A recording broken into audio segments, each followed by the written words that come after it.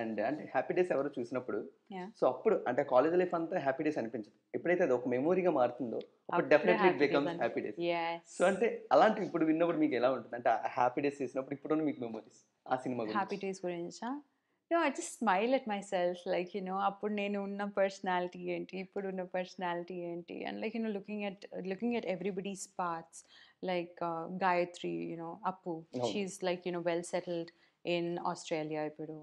And then Nikhil you know ఎంత కన్సిస్టెంట్గా he's been selecting good stories and you know ఒక luck and దేవుడు కూడా హెల్ప్ చేసి యూనో అవి అలానే కంటిన్యూ అయ్యేలాగా చేశారు Karthikeya two I enjoyed it a lot okay so అట్లాగా looking at Varun Sandesh looking at Mona she's done her ఐఎస్బీలో course చేసింది and all that stuff looking at Tamannaah of course like you know మీ అందరికీ తెలుసు so it's just nice it look back flashback చేసి okay ఎట్లా జరిగింది కదా. కొన్నిసార్లు stun అయితే ఉంటాను.